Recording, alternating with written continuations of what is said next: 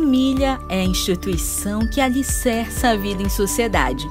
Lugar de comunicação, conhecimento e encontro.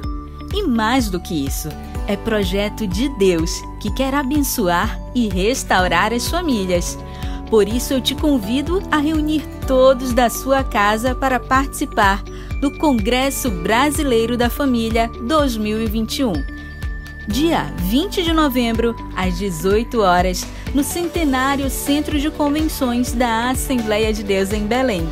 Palestras com Pastor Luciano Subirá. Olá, eu sou Luciano Subirá e no dia 20 de novembro estarei ministrando no Congresso Brasileiro da Família em Belém. Tenho certeza que será um tempo abençoado, passando para convidar você a participar conosco. Congresso Brasileiro da Família. Famílias guiadas para o novo de Deus.